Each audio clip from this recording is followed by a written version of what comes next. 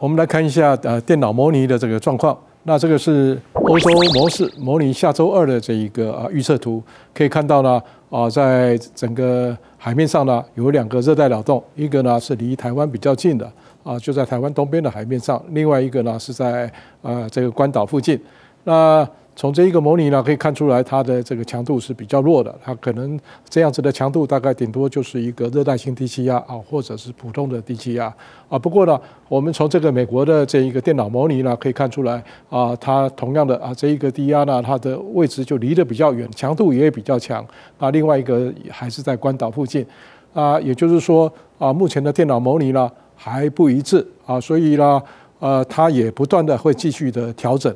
那以目前的资料啊，就来研判说它会不会对台湾产生影响啊，或者影响的程度如何啊？确实是还太早了一点啊，必须继续再观察。那我们来看一下啊，这个从卫星图上面呢，已经可以看到啊，这一个啊摩羯台风了，它。有台风眼了，它已经是一个中度台风，而且啊，这个强度还蛮强的，范围也蛮大的啊。不过呢，因为离台湾比较远啊，所以它只有外围的一些云系呢啊，影响到南台湾啊，这个云比较多一点。那在迎风面的这一个啊云系呢，就发展的比较强一点。那在北台湾呢，比较接近越北边呢啊，是在台风的这个外围的沉降区里面啊，所以可以看到啊，相当的晴朗。那从雷达回波呢啊，就可以进一步看到啊，这一个。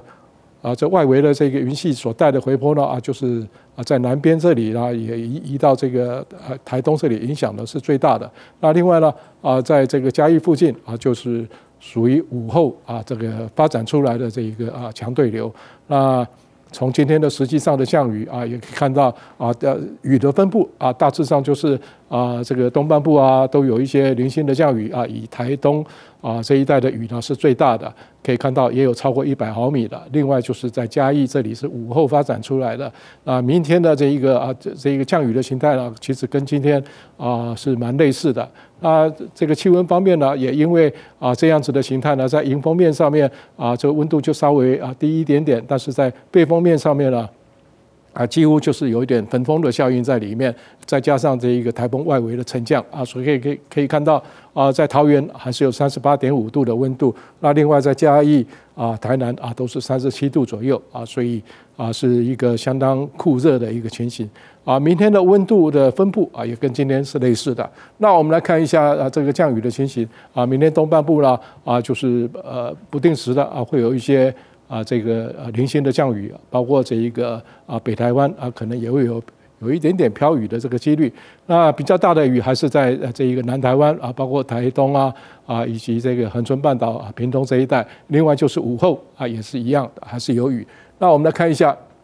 啊，在未来呢，在礼拜五、礼拜六、礼拜天呢啊，这个台风呢，虽然说是。啊，越走越远，但是其实台湾附近的水汽呢会逐渐的增多啊，因此呢不定时的啊会有一些啊局部短暂雨的这样子的一个几率啊，主要的雨还是在午后，午后的话就是整个西半部啊要注意这个会有比较强的雷阵雨出现了，那啊也有可能大雷雨的现象。那我们来看一下这一个未来的气温呢啊，明天啊这个气温呢可能就是会啊在台北来讲的话。啊，有三十六度左右，但是在啊桃园到这一个呃苗栗这一带还是会有高温啊，这个要注意。那另外礼拜五之后呢，啊因为云多下雨的几率也稍微提高一点啊，所以这个气温呢啊有稍微下降一点。那我们来看一下啊，未来呢，明天要注意的还是晴朗炎热，要注意防晒、防中暑。那在降雨呢，主要在东半部。那另外呢，就是南部啊，都有一些局部雨的现象。那另外就是午后在接近山区的地方